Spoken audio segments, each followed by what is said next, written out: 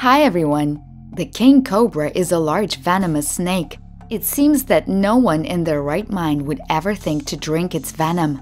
And yet, what do you think will happen to a person who decides on this? Believe it or not, there is a man who chose to do such an experiment. This video is about him.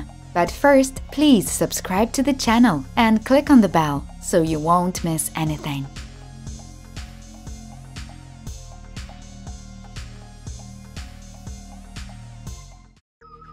This man's name is Sadhguru. He's about to drink black cobra venom. This man is a famous Indian yogi and mystic with millions of followers all over the world. At the age of 25, he said he experienced enlightenment. One day he climbed a hill and entered a meditative state. He thought it lasted under 10 minutes, but it turned out that he had spent 5 hours on the hill. Sadhguru said that while sitting on the hill, he did not feel the limits of his body and became one with everything that surrounded him. After this incident, he decided to share his experience with others and started teaching people yoga and many spiritual practices.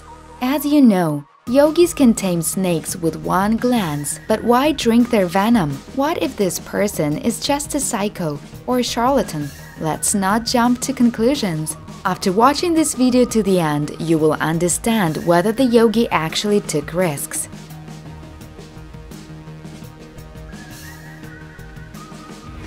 There are about 600 species of snakes on the planet, and although most of them are not venomous, from 220 to 380 people die from their bites every year. Just 7 milliliters of venom is enough to kill a person. It's only one drop.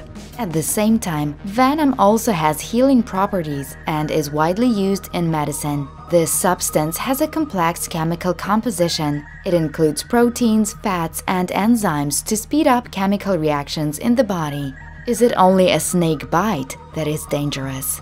Maybe if you drink venom, nothing terrible will happen. But the black cobra can poison with its venom even at a distance. These snakes can spit at an enemy that is several meters away from them. If their venom gets on the skin, it will cause redness and itching. But they usually aim for the eyes, and if they succeed, it can even lead to blindness. So what happens if you ingest the venom?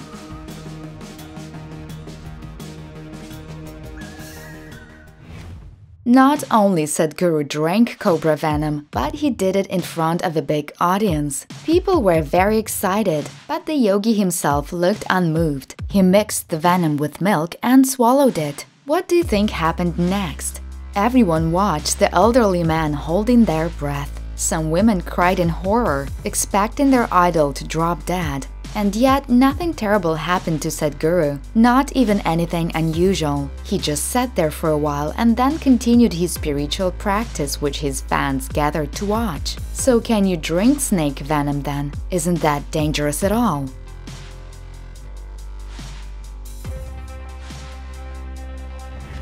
Wait, why should it scare us that someone chooses to drink snake venom? We know that very often to save a person bitten by a snake, the venom is sucked out of the wound. We often see such scenes in movies, but doctors say such actions are completely ineffective. It turns out that you can suck out no more than 2% of the venom, and so a person trying to suck out the venom doesn't run risks. The concentration of toxic substances is too low. A person who was bitten, however, loses precious time. Instead, you should try to get a victim to the hospital as soon as possible. Apply a loose bandage over the bite and give them plenty of water to drink. We can conclude that sucking out venom from a wound and drinking it from a cup are two different things. So is drinking venom actually dangerous?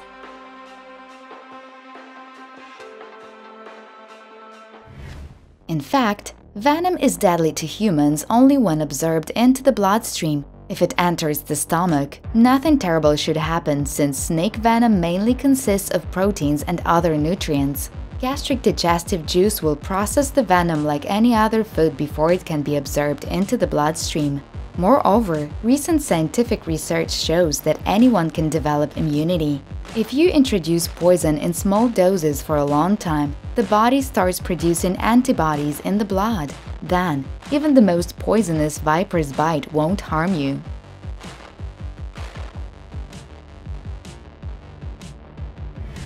Naturally, after the experiment, they asked Sadhguru many questions. Why did he drink the venom? How did he feel afterward? Was he scared? The yogi shared his experience. He explained that he drank the venom to achieve even greater enlightenment. The elderly man believes that this practice will help him to comprehend the truth, achieve union with the world, and go into deep meditation quickly. This is how he commented on his experience. In small quantities, snake venom intoxicates, and in large quantities, it kills. But everything is dangerous in large quantities. Even oxygen, if there is too much of it, will do more harm than good.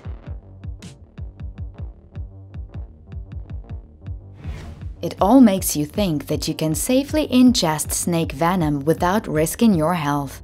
Still, it's best not to try this at home. Yes, if the poison enters the stomach, it won't do harm.